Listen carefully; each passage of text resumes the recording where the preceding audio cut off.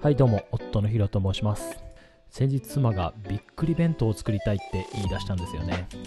え何？びっくりってもう言っちゃってるじゃんネタ。そう思って軽く流してたんですがその翌日の朝に今日びっくり弁当の日だから感想の動画撮っといてなんて言ってるんですよね。もう冗談なのか天然なのかよくわからないんですが今回はそんなような動画になっています。それでは本編いってみましょう。